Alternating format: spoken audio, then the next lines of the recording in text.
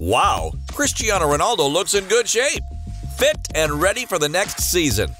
Oh, did you also just think you saw CR7's latest vacation snap? No, my friends, these defined abs belong to Didier Deschamps, the result of a simply incredible transformation. Sure, the photo dates back to the summer of 2017, but he's not the kind of person to let himself go. You could see him at France's team training during the Euro, and he was in super physical condition. Like Zidane, who visits the Real Madrid gym every day. Because Deschamps doesn't joke when it comes to exercise. He's obsessed with working out. His favorite exercise? The plank. Didier Deschamps does a lot of core workouts. He said this on a French radio station. One hour, yes, one hour. I can't do it today, but I make sure I do one hour a day. Yes, I'm a bit crazy.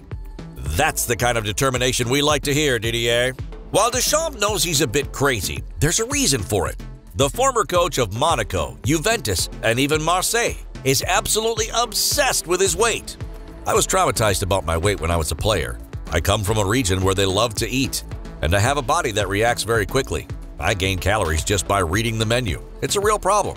Even today, I come across crazy. Sometimes I weigh myself three or four times a day. Three or four times a day? That might be a bit excessive, don't you think? However, the manager of the French team wasn't always this fit. During his time at Marseille in 2012, he gained at least 44 pounds.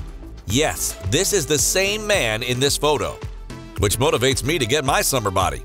On a serious note, Didier Deschamps attributes his weight gain to stress and the difficulties of the coaching profession, and particularly in Marseille, where the context is very specific. 33 pounds gained? No, 44. In an environment with awful working conditions. With this job, even when you're in a club and it's going well, it's 24 7. You can't even take a break in the winter period. It's like your head is in a washing machine. It's also the pressure, but in Marseille, with everything that goes with it, internally and all that, Marseille is extreme, and when it goes badly, it goes very badly. Four years later, he's completely transformed.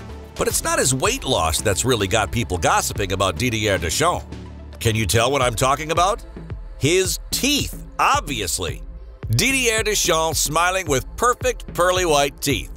The photo caused a real buzz in France, and some people took real joy in making fun of him.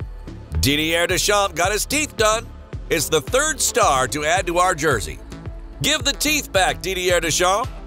The reason France lost the Euro is because of Didier Deschamps' new teeth. Why this last minute change? Didier Deschamps was long mocked for his teeth that were, let's just say, interesting. Comments he never paid any attention to. I'm not on social media, so that doesn't affect me. And when he was asked why he made this change, Didier got quite annoyed. That is for me to know. I don't want to talk about it. It's my private life, so I'm not going to comment or talk about the how and the why. The only thing I can say is that clearly when you're the manager of France, you're representing something significant because it involves the Federation's image. An operation that may have cost between $12,000 and $20,000. For his new teeth made of diamonds or something? I hope you've got good health insurance, Didier. Perfect teeth and body aside, Didier Deschamps is and will remain one of the best international managers in recent years. After all, he managed to bring football home for the French.